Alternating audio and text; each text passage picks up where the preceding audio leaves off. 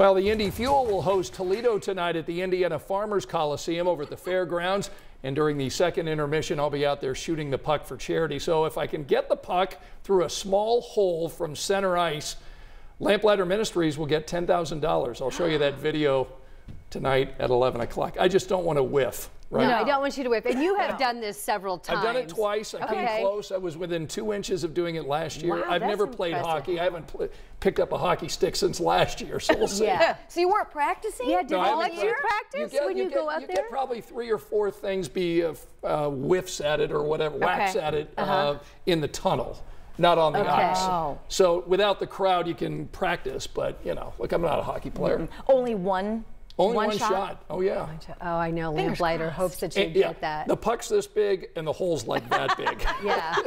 well, you should have seen me at Top Golf last week. You know, swing and a miss. Uh, yeah, that was a practice. That was a, that was a practice. Yes, yes. Yeah. All right. Takes a- Well,